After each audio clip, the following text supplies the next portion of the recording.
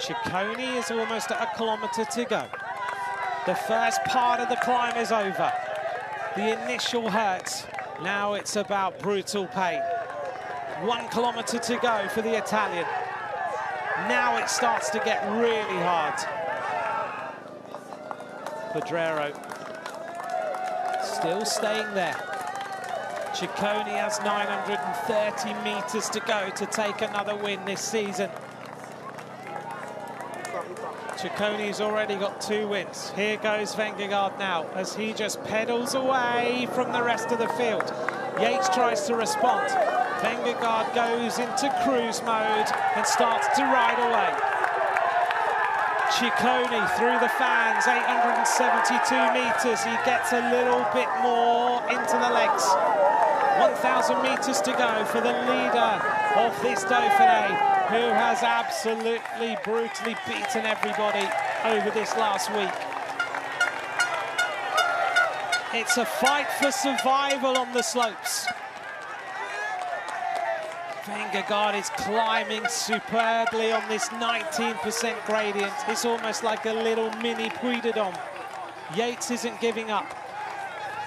And still Vingegaard with a little advantage. Don't forget though, 760 metres to go for Ciccone.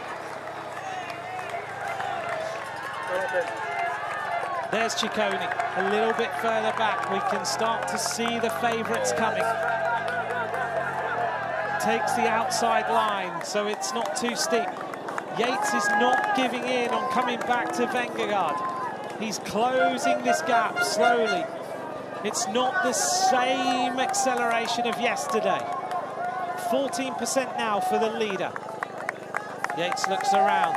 Ben O'Connor is still there. It looks like the top three in this race are going to finish relatively close together on this mountain. It takes us to the top of La Bastille. We're above Grenoble which of course first awarded the yellow jersey of the Tour de France 104 years ago in this city. And the rider who wants to defend his Tour de France title is again getting rid of all the favourites in the Dauphiné. Just under 500 metres to go for the Italian Giulio Ciccone. What is the gap? We look back now to Vingegaard. The yellow jersey should come round the corner. It looks like Ciccone is still holding a good advantage. 15%. As Jonas Vingegaard says, I just like to race my bike. He has the same philosophy as Tadej Pogacar. He looks strong and he looks ready. He's going to win this Dauphiné and he's going to send a message to all his other rivals. Game on for July. Ciccone is there. Vingegaard comes round that really horrible little turn. It's so steep in that corner. Has Ciccone managed to take this? There's the virtual classification on the right-hand side. At the moment, Vingegaard would win this Dauphiné by 2.33. Giulio Ciccone is almost at the top. There is the next group of riders behind Vingegaard and Yates. Guillaume Martin, and sorry, O'Connor as well. Hindley goes. Again, Hindley going late on the climb. Just trying to use his energy wisely. Ciccone's 150 metres from a wonderful victory in the Dauphiné. And he dropped his sunglasses. His usual salute isn't going to happen. I think he dropped them off the helmet there. This next turn is really steep. Look at it. Earlier on today, I watched a young kid try and walk down this corner, and it was almost impossible.